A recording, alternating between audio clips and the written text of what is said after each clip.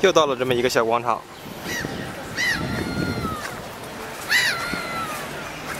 这鸟叫的太他妈凄惨了！哎呀，这广场大周一的竟然没人！我靠，你看没几个人，只有这个海鸥在这乱飞呀。刚才我又看到了一个男的在往边推车带孩子，我觉得这真是宅男福利啊！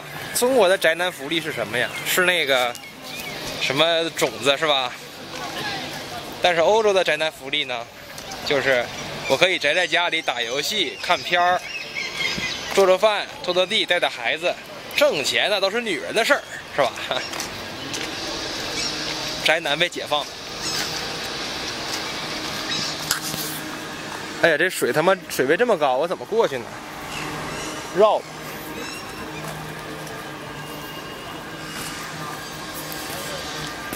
刚才上楼梯的时候啊，有个女的穿了个超短的迷你裙儿，使劲往下蹬那个裙子，生怕走光被我看到。我就合计，你穿成这样不就为了让我看吗？对吧？你不让我看呢，你为什么穿成这样？这个心态太矛盾了。